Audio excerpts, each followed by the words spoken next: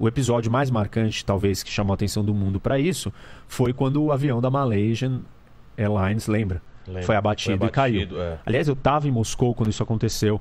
é, e eu até dei várias Você tava entrevistas. lá, velho. Tava visitando. Ah, é, tá. E... Mas aí aconteceu um negócio, eu Nossa. entrei ao vivo na, em todos os veículos, eu entrei transmitindo o que, tá, o que tava acontecendo ali.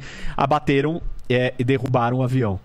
E quem que derrubou? Armamento russo na mão desses rebeldes que são ucranianos de que falam russo, de etnia russa, ligados com os russos, que queriam fazer parte, queriam pegar esse território deles e se juntar com a Rússia, estimulados e incentivados pelo Putin, pela Rússia.